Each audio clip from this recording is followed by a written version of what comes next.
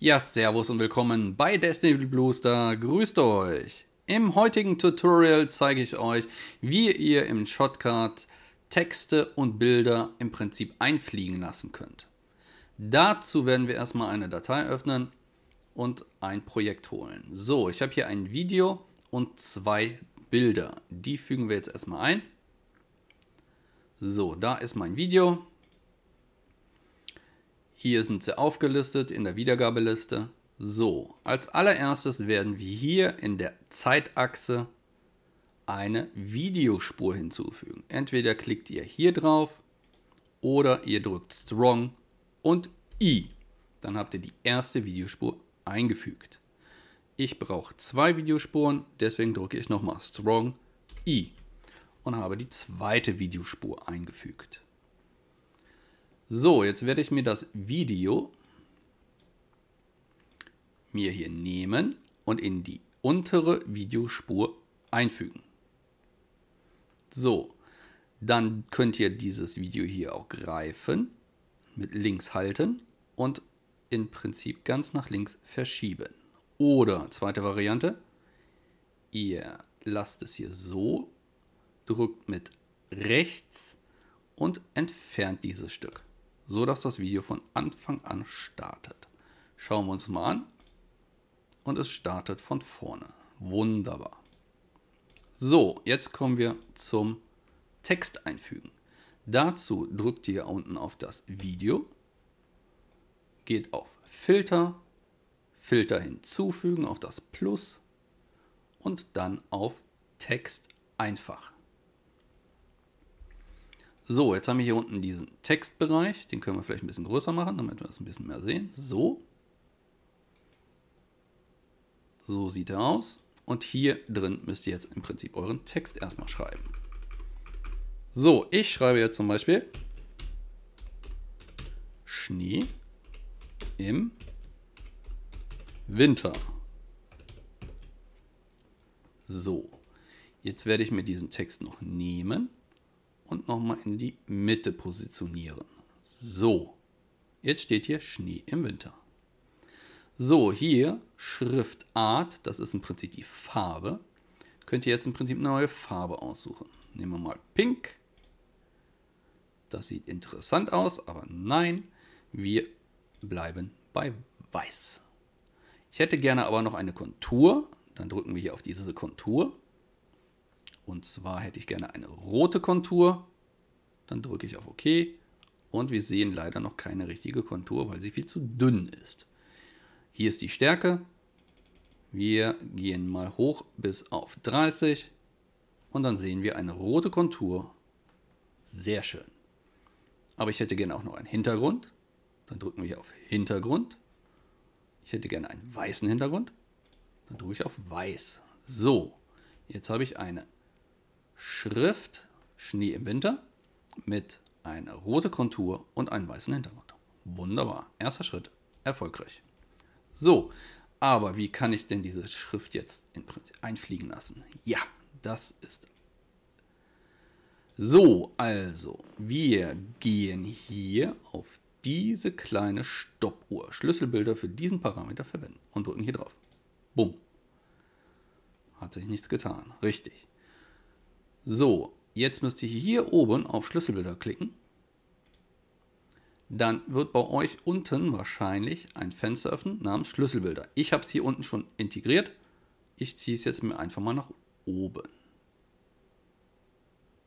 So. Jetzt seht ihr hier unten, es sieht aus wie eine Videospur, aber nein, es sind einfach Schlüsselbilder. So, ich klicke jetzt auf dieses erste Schlüsselbild. Und das ist die Position, wo, das, wo dieser Schriftzug am Anfang des Videos sein soll. Da soll es nicht sein, es soll außerhalb des Bildes sein. Und das könnt ihr hier an dieser Position ändern. Und zwar, indem ihr zum Beispiel einen Minuswert eingibt. Ich klicke mal auf Minus, gebe mal 100 ein und ihr seht, das Video verschiebt sich nach links. 1000 und es ist fast außer Bild. So, das heißt, wir gehen mal auf 2000er. So, jetzt ist das Bild raus. Ihr möchtet dieses Bild aber einfliegen lassen. Das heißt, wir brauchen noch einen Punkt. Und zwar sage ich jetzt einfach mal, wir gehen auf 20 Sekunden hier unten. Drücken wir hier drauf. So, da ist der Marker jetzt.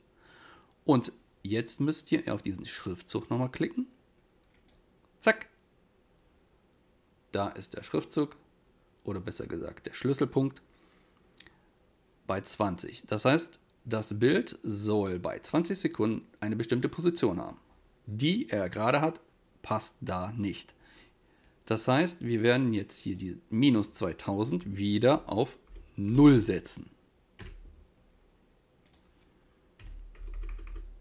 So, wir löschen es einfach. So, das heißt, bei knapp 20 Sekunden soll dieser Schriftzug dort in der Mitte sein. Und ich würde sagen, am Ende des Videos oder bei 40 Sekunden, dann gehe ich hier auf 40 Sekunden, klicke wieder hier am Rand auf diesen Schriftzug und habe dadurch mir eine Position gemarkert. So, da soll das Bild oder dieser Schriftzug komplett außer dem, außerhalb des Bildes sein. Und zwar nach rechts. Das heißt, wir müssen hier wieder eine positive Zahl nehmen. Und zwar nehmen wir dort einfach wieder mal 2000. So, jetzt ist das Bild oder dieser Schriftzug außerhalb des Bildes. Ob das jetzt so funktioniert hat, das schauen wir uns jetzt an. Dazu nehme ich wieder meine Schlüsselbilder runter, damit ich das Bild oder besser gesagt die Videospur besser sehe. Ihr könnt hier von Ausgabe und Schlüsselbilder hin und her klicken oder besser gesagt Zeitachse und Schlüsselbilder hin und her klicken. So, dann gehe ich mal am Anfang des Videos und drücke mal auf Play. Und wie ihr seht, kommt jetzt ein Schriftzug. Zwar relativ langsam, weil wir halt so einen großen Zeitabstand genommen haben, aber es fliegt in das Bild hinein.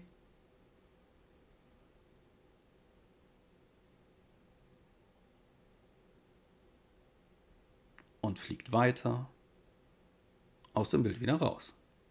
Also, es hat funktioniert. Und ihr müsst euch jetzt nicht wundern, dass hier dieser, dieser Kasten von der Schrift noch drin ist, der ist natürlich im Video nicht zu sehen. Dazu äh, drückt ihr einfach mal auf die Videospur und drückt nochmal Play, dann ist der Kasten auch weg und ihr seht so wie es ist. So sieht das dann aus. Schnee im Winter und Goodbye. So ist das.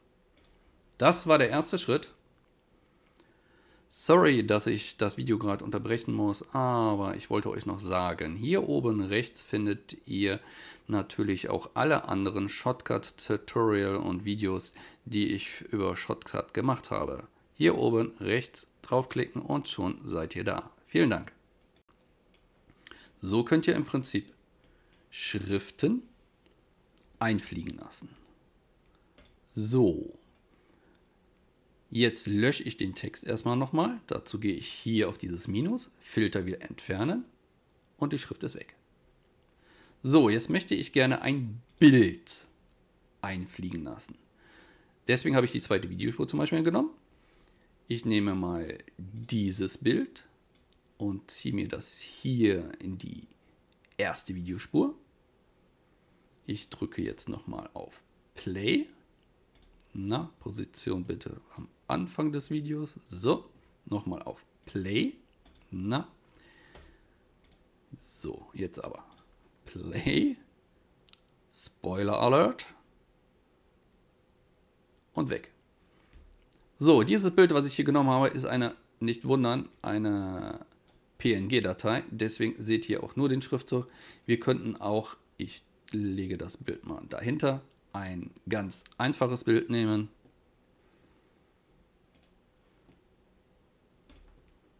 So, Spoiler, Alert und irgendein Bild. So würde das aussehen. Da ihr das Bild in der oberen Videospur genommen habt, wird dies immer im Vordergrund gezeigt. Aber wir möchten ja gerne die Sachen einfliegen lassen. Wie machen wir das?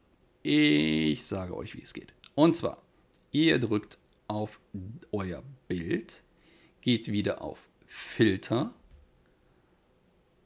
Filter hinzufügen und dann geht hier auf Größe und Position. Jetzt seht ihr, dass hier unten bei mir, bei den Schlüsselbildern, sich dieses Bild als Schlüsselbild hinzugefügt hat. Dann drücken wir wieder hier auf Schlüsselbilder für diesen Parameter verwenden. Dann klicke ich jetzt, ich muss das Bild ein bisschen größer machen, einen Augenblick, so. Dann drücke ich hier unten auf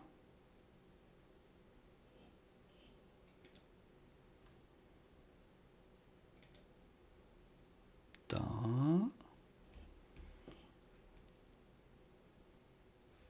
Ganz am Anfang bitte die Position. Zack. So, jetzt habe ich den gemarkert, dass der am Anfang die Position einnehmen soll. Und bei den Bildern könnt ihr das Bild im Prinzip hier zum Beispiel auch nehmen und schiebt das einfach mal zur Seite. So.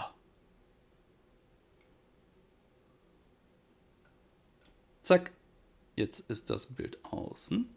Und ich möchte gerne, dass das Bild am Ende des Videos, und zwar da, da soll der Marker dann hin. Wir drücken hier auf dieses Bild. Zack. Jetzt habe ich hier den Marker im Prinzip, den ihr natürlich aber auch verschieben könnt, indem ihr die linke Maustaste haltet. Und zwar am Ende des Videos möchte ich gerne, dass dieses oder dieses Bild dann draußen ist. So, die Position ist im Prinzip dann da. So, wie das dann aussieht, gucken wir uns jetzt an. So, wir starten. Jetzt kommt es eingeflogen und fliegt von links nach rechts. Wunderbar. So, dasselbe können wir natürlich auch mit diesem Bild machen. Wir drücken auf das Bild, gehen auf Filter, hinzufügen, Größe und Position. So, jetzt könnten wir dieses Bild genauso von links nach rechts einfliegen lassen, aber das ist langweilig. Wir werden dieses Bild ein bisschen animieren. So, als allererstes werde ich dieses Bild Bilder dürft ihr von der Zeitachse so lang wie möglich oder wie ihr wollt ziehen. Ich ziehe es ein bisschen länger. So, ich möchte gerne dieses Bild, und zwar am Anfang, dazu setze ich jetzt einen Marker,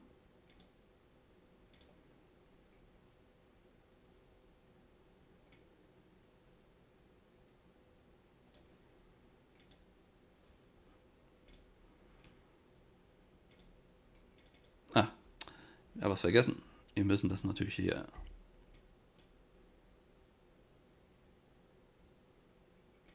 als Schlüsselbild nehmen. So, ich nehme diesen Punkt und möchte den am Anfang des Videos haben. So.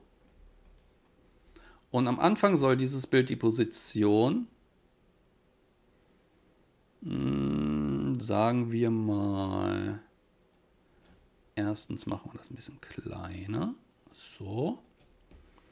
Und dann schieben wir das erstmal hier rüber. So.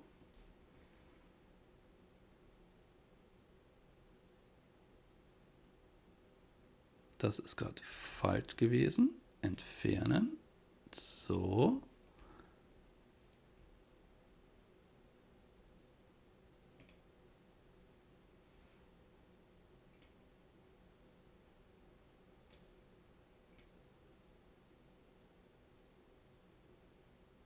Na, macht wir ein bisschen machen. Das nochmal das Bild ein bisschen kleiner machen. So, jetzt haben wir es.